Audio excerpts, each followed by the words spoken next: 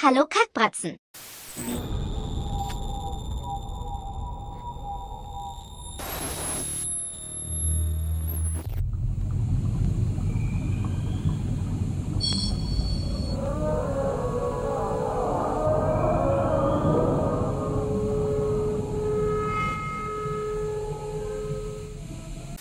Ich denke, dass es schon zu spät ist, um euch zu warnen. Jeder, der dieses erbärmliche Video hier sehen wird, läuft Gefahr, nach Ablauf von sieben Tagen Besuch von der kleinen Samara zu erhalten. Leider kommt sie nicht auf eine Tasse Kaffee, sondern ihr werdet auf mysteriöse Umstände ins Gras beißen. Um ganz sicher zu gehen, dass nicht auch ihr mit einem schmerzhaft verzerrten Gesicht auf dem Boden liegend, mit dem Gesicht in eurer Kotze gefunden werden wollt, solltet ihr besser eine Kopie für einen lieben Freund erstellen, das Video manuell zurückspulen und am besten noch ein Abo hinterlassen. Euch wird in euren Träumen immer noch meine absolut zuckersüße Stimme heimsuchen, aber für den Rest solltet ihr fein raus sein. Und warum nun das Ganze?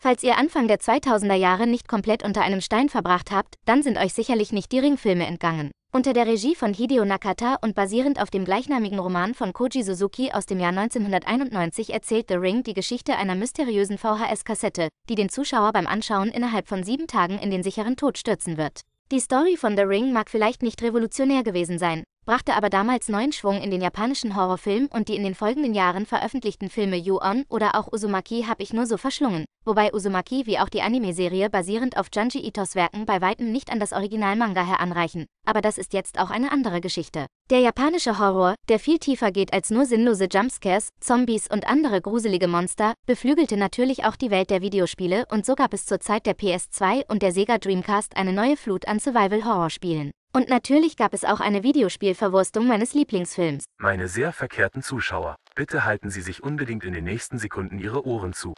Das Spiel The Ring benutzt Soundeffekte, die nicht nur gegen die Genfer Konvention verstoßen, sondern ganz generell ein Verbrechen gegen die Menschlichkeit sind. Bei Missachtung und für mögliche Nebenwirkungen übernimmt der Kanal keine Haftung. Vielen Dank. It's not too bad, even as a prototype. The force of Sadako Yamaura. The Ring Terror's Realm wurde im Jahr 2000 exklusiv für die Sega Dreamcast veröffentlicht und basiert auch lose auf der Geschichte des Buchs bzw. des Films, aber leider ist die Umsetzung nicht ganz so gut gelungen. I'm Meg. Please, you have to help me. Es gibt auch nicht diese mysteriöse VHS-Kassette. Stattdessen wird uns ein verfluchtes Computerprogramm heimsuchen. Aber erstmal alles der Reihe nach. Man schlüpft in die Rolle der Sie-die-Sie-Forscherin Mac Rainman, deren Freund Robert Opfer eines seltsamen Mordes wurde, der seinen Körper zu einer ausgetrockneten und leblosen Hülle verwandelte. Um der Sache auf den Grund zu gehen, fährt sie seinen Laptop hoch und findet dort neben einer Menge Hentai auch ein ominöses Programm namens Ring. Die nicht so kluge Mac ist natürlich neugierig wie die Sau und öffnet dieses Programm, wodurch sie in eine Art dunkle Alternativdimension gelangt, wo sie sich dort mit einer Schusswaffe in den Händen und in einer schicken Uniform wiederfindet. Und keinen Augenblick später macht sie schon Bekanntschaft mit einer Handvoll Zombies, mit den wohl schlechtesten Animationen aller Zeiten.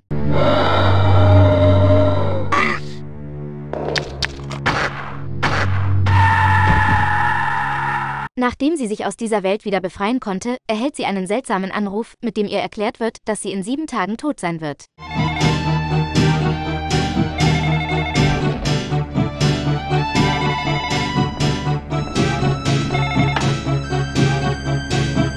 Natürlich geht ihr der Arsch auf Grundeis, aber sie lässt sich nicht kleinkriegen, denn ihr Ziel ist es nun nicht nur ihr eigenes Leben zu retten, sondern auch das Geheimnis des Rings zu lüften. The Ring versucht so sehr den Resident Evil Flair nachzuahmen, dass man schon gleich im Intro mit einem der schlechtesten Sprachausgaben gefoltert wird, die wir vermutlich je gehört haben.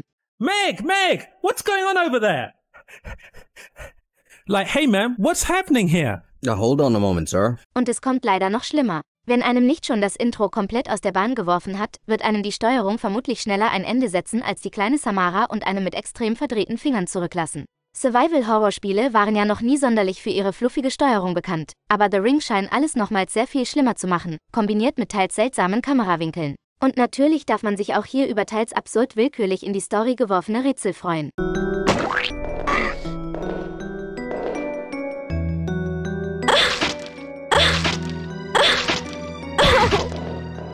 Man bekommt das Gefühl nicht los, dass man hier wirklich mit allen Mitteln versucht hat, das Look and Feel von Resident Evil zu kopieren, um die Fans des Genres abzuzocken, aber allerdings komplett scheiterte aus dem verfügbaren Material ein gutes Spiel zu kochen. Man übernahm das Kampfschema, das Inventar, das Leveldesign und änderte noch ganz leicht einige Dinge ab. In den Safe Rooms gibt es ein Radio, mit dem man seinen Spielstand speichern kann und keine Schreibmaschine.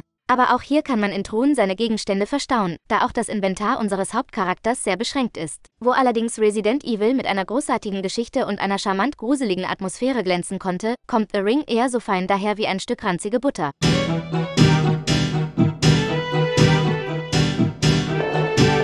Die Geschichte ist langweilig, die Charaktere sind flach und die einzige Atmosphäre, die aufkommt, ist vergleichbar mit dem Duft eines Paar Socken, das man im Hochsommer für zwei Wochen ohne Pause getragen hat. Das Gameplay in The Ring ist für Survival-Horror-Fans eigentlich nichts Neues. Bewegung, Kampf, Kartierung und Inventar sind alle identisch mit denen von Resident Evil oder einem der unzähligen Klone. Leider hat man beim Kopieren den Unterbau der Mechanik komplett vergessen. Die Steuerung ist selbst für diese Art von Spiel schwergängig und die Kollisionserkennung ist oft komplett kaputt, so dass man sehr oft an irgendwelchen Gegenständen kleben bleibt. Oder dass Kugeln scheinbar durch die Körper unserer Feinde fliegen, ohne dabei nennenswerten Schaden zu hinterlassen. Die Kamera glitscht so oft, dass man sehr oft nicht mal sieht, wo man ist, oder erkennt, ob vor einem gerade ein Monster oder irgendein anderes Objekt steht. Diese technischen Probleme machen das Gameplay zu einer mühsamen Aufgabe, da das Spiel sehr stark auf Erkundung basiert.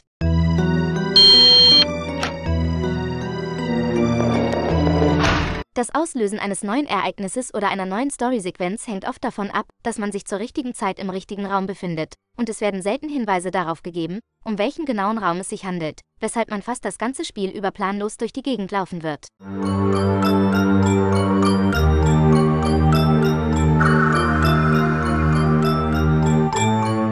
Quasi komplett daneben ist auch die Grafik. Mal davon abgesehen, dass die Charaktere den Charme eines Sacks voller Hirschgeweihe hat, bewegen sie sich in etwa genauso geschmeidig. Am schlimmsten hat es allerdings die Nebencharaktere getroffen, die beinahe komplett deformiert durch die Gegend schlurfen. Man hat auch nur einen minimalen Aufwand in die Gesichtszüge gesteckt. Oft hat man das Gefühl, dass man den Charakteren ein grenzdebiles Dauergrinsen in die Hackfresse geworfen hat und von den Haaren möchte ich lieber nicht sprechen. Wie soll mit derartigen Grafikdurchfall nur irgendwie ein Gefühl von Angst geschaffen werden? In The Ring wird man sich mit absoluter Sicherheit einschiffen, aber nicht wegen der gruseligen Monster, sondern vor Lachen, da man fast pausenlos mit einem absurd lächerlichen Design bombardiert wird.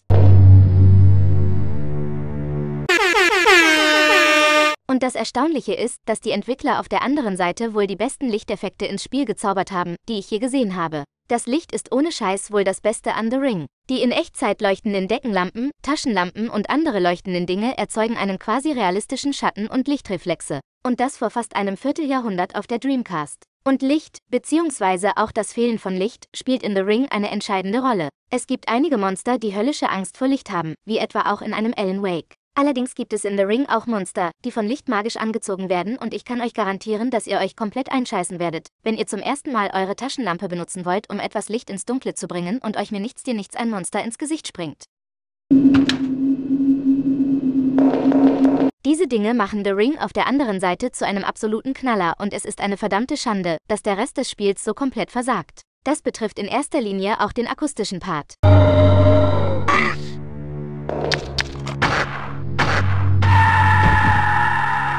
Die im Spiel verwendeten Geräusche hat man sich wohl aus irgendeiner Standard-Geräuschdatenbank geklaut. Allerdings scheint man alle Geräusche auf Kassette aufgenommen zu haben, die sich der Tonmann vermutlich ganz tief in seinen Darmausgang geschoben hat, bevor er die Kassette wieder in seine Anlage steckte. Anders kann ich mir die knackigen und zischenden Störgeräusche nicht erklären.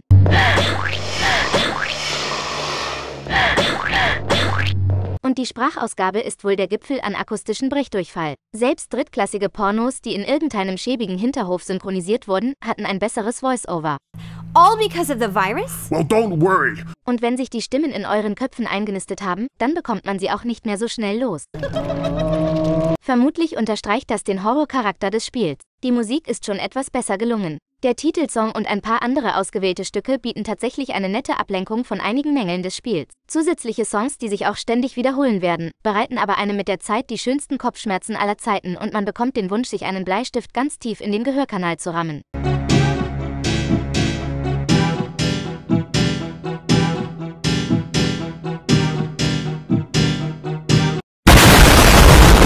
Also, Die Steuerung ist scheiße, die Synchro erzeugt Brechdurchfall und es gibt nicht mal ein kleines totes Mädchen, das mit ihren speckigen langen Haaren aus einem Fernseher kriecht. Es gibt nicht mal ansatzweise irgendwas Gruseliges zu sehen. Warum zur Hölle muss man also The Ring gespielt haben? Vermutlich, weil es auf der Dreamcast ohnehin nicht so sonderlich viel lohnenswerte Spiele gibt. Insgesamt habe ich das Gefühl, dass es auf dieser extrem gescheiterten Sega-Konsole die absolut schlechtesten Survival-Horror-Spiele gab, die man uns je vor die Füße gekotzt hat. Man holt sich The Ring, das übrigens nie offiziell außerhalb Japans veröffentlicht wurde, mit der Hoffnung, dass man ein wenig den Flair des Films in einer spielbaren Form erhält. Stattdessen ist es eines der schlimmsten Horrorspiele überhaupt. Und ich habe wirklich eine Menge schlechter Horrorspiele gezockt. Man will insgeheim das Spiel gut finden, scheitert aber kläglich daran, wie auch The Ring kläglich daran scheiterte, eine gute Resident Evil-Kopie zu sein. Aber es ist die absurd schlecht gemachte Atmosphäre, die einem in den Band zieht. Und wenn man etwas loben muss, dann die unheimlich tollen Lichteffekte und die mit einhergehende Gameplay-Mechanik. Hier kann The Ring eindeutig punkten, aber es reicht trotzdem nicht aus, um nur irgendwie einen Blumentopf zu gewinnen. Wer irgendwie einen Hang für schlechte Horrorspiele hat, sollte unbedingt zugreifen. Der Rest kann diese sehr merkwürdige Perle getrost dort lassen, wo die Sonne niemals scheint. Ich werde jetzt meine Augen mit Klorbleiche auswaschen und... Oh, das Telefon klingelt? Welcher Idiot ruft denn bitte schön zu dieser nachtschlafenden Stunde an?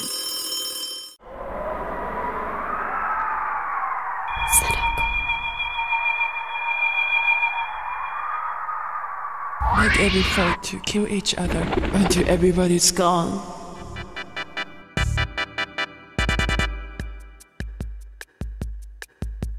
Das soll's für heute gewesen sein. Ich würde mich freuen, wenn ihr auch das nächste Mal wieder einschaltet.